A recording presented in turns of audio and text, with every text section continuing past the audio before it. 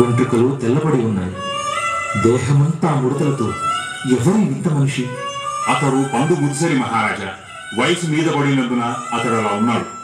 వృద్ధాప్యం అనేది ప్రాణికోటికి సహజమే కదా యువరాజా అయినా వృద్ధాప్యం ఎంత భయంకరమో కదా. ముసలితనం జీవిత సత్యమని తెలిసి యువరాజు మనసు కలచే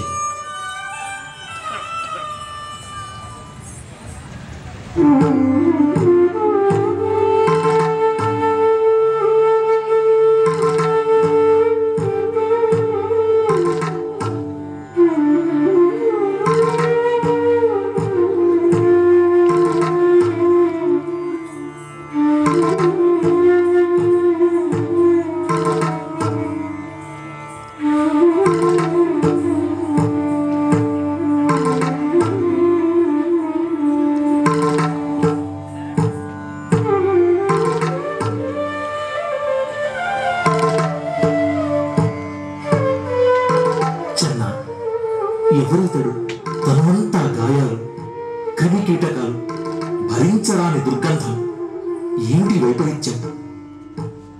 అతడు ఒక వ్యాధిగ్రస్తుడు మహారాజా.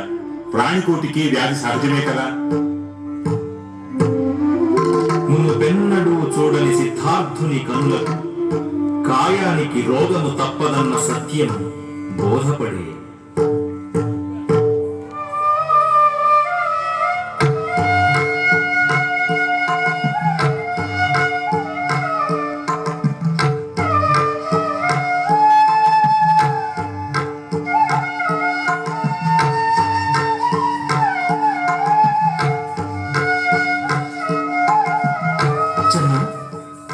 ఎవరాతడు తాళ్ళతో బంధించిన కదలక మెదలక పొరుండినాడు. అతని వెంట ఏడ్చుచూ వెళ్ళే వాళ్ళంతా ఎవరు? అతడు మరణించాడు యువరాజా. వారతని దేహాన్ని దహనం చేయుటకై తీసుకెళ్తున్నారు. ఆ ఏడ్చే వారందరూ అతని బంధువులు. యువరాజా పుట్టిన ప్రతి వాడు గిట్టుట సహజమే కదా?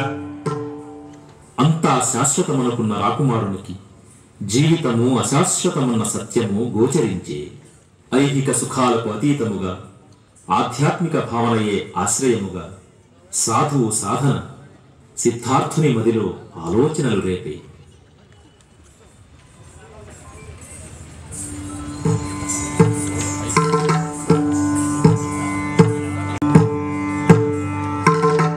సిద్ధార్థ లే నిద్ర వేరు.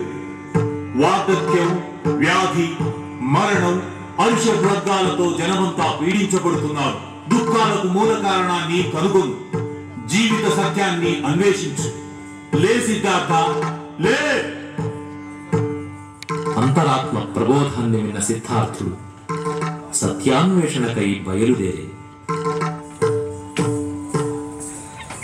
అనేక మందితో